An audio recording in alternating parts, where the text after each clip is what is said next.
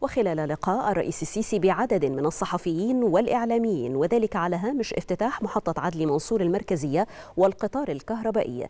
أكد الرئيس السيسي أن الثالث من يوليو يعد يوما فارقا في تاريخ مصر والعالم.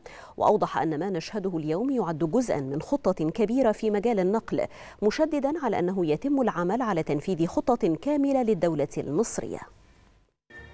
3 7 يوم فارق في تاريخ مصر. والمنطقة والعالم يمكن. ربنا سبحانه وتعالى اراد ان الدنيا تتغير يبقى في شكل تاني للدوله ديت اللي كانت يعني صدقوني صدقوني كانت رايحة في يعني في سكة لن تعود من النموذج قدامك النموذج اللي أنا بتكلم عليه اللي إحنا كنا رايحين له موجود قدامك. دلوقتي موجود قدامك. وتجد الدول دي في حالة ضياع وخراب ومش ع- مش مفيش مستقبل. مفيش مستقبل. الدول دي مفيش مستقبل. لقد إيه؟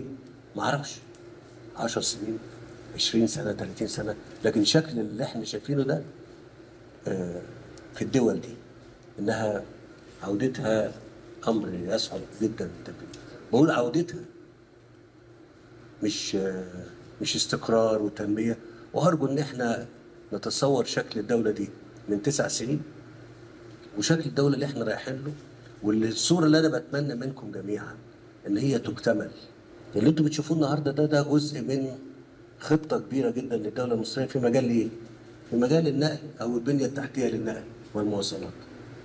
لما نحطها جنب بعضها كده إحنا بنتكلم في أكتر من تريليون وشوية تريليون 400 ها مش كده؟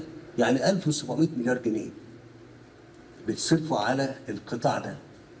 إحنا قبل كده اتكلمنا عن الكهرباء وقلنا دخله في في رقم آه، قريب من الرقم ده عشان نبقى ما عندناش مشكلة في كل اللي إحنا بنعمله.